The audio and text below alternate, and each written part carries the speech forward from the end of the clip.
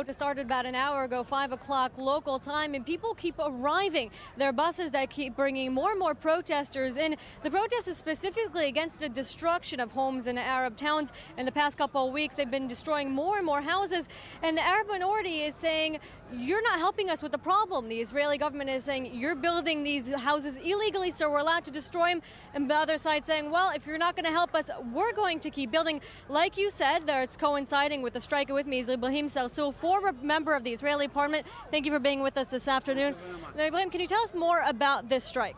As you see, tens of thousands of uh, Arabs and Jews came to the heart of Tel Aviv to demonstrate against the continuous and constant discriminatory planning policies of the successive, successive governments of Israel.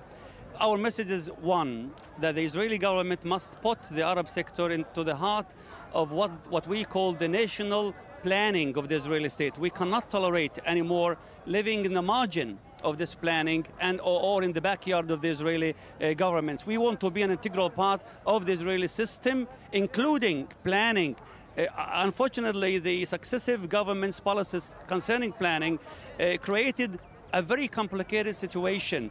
Tens of thousands of homes are supposed to be demolished, demolished, by the way, destroyed according to the law. We want the Israeli government really to put an end to this tragedy of more than 20% of the total number of the Israeli inhabitants.